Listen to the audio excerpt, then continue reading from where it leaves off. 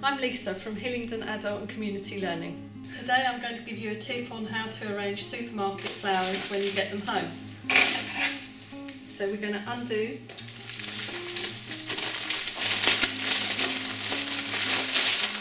this well wrapped flowers. And all we need is a nice vase and some sellotape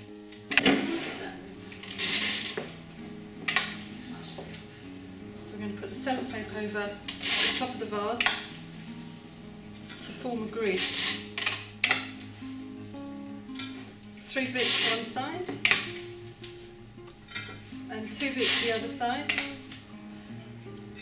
so you can't see it.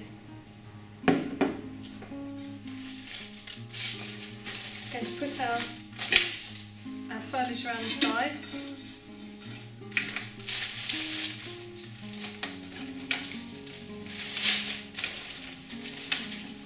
and spread them evenly over the grid.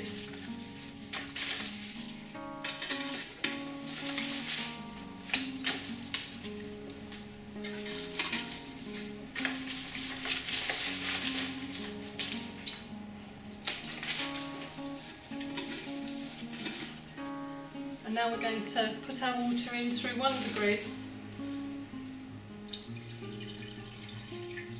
so they cover the first couple of inches of the stem.